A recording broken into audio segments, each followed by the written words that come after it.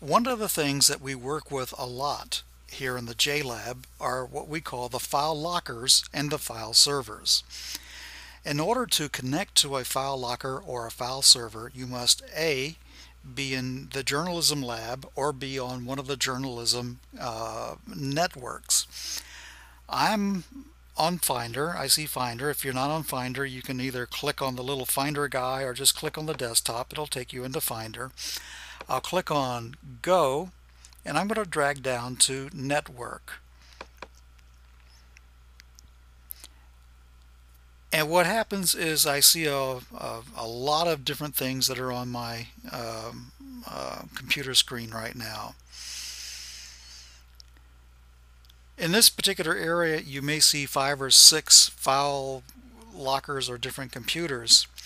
If you don't see the one that you want you can always click on all and it will give you a list of all the machines that are available.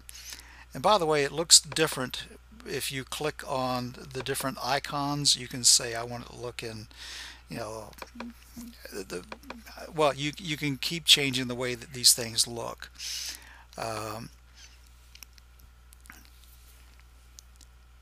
a couple of ground rules with the file locker. Number one, um, if you're a Buttercup person or an Elvis person or we have NoDoz, Nimrods. You, I'm looking for things that say file locker. Not everything is a file locker, but the ones that say file locker, these are items that you can log on to and store items.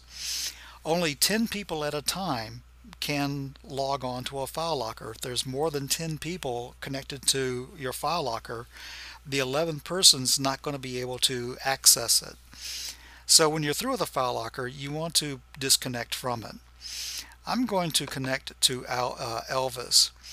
And there's a couple of ways of doing that. I should be able to double click and it will try to contact it. And I can come up here and I can probably double click on where it says Elvis File Locker and I'll go ahead and do it. And it has connected. In fact, I see the little Elvis icon way over here. I'm going to disconnect and I'm going to disconnect by clicking on the eject button. And once again, I'm going to connect to Elvis. This time, I'm going to say uh, what I want to do is connect using the Connect As button. You always tell it you're a guest. And again, I'll say connect and it's brought this thing up. I have to double click again and once again I'm connected. We have all the uh, the names of the folders and at this point in time there's only two but all the folders that are currently on Elvis are there. Okay now anything that you put on a file locker is public because you can click and look inside you you know you know various you can store things inside someone else's folder or whatever that's not really a problem. It hasn't been a problem in the past, at least things that were done maliciously. But you have to remember this is not private storage by any stretch of the imagination. This is public, but it is a very convenient online storage facility.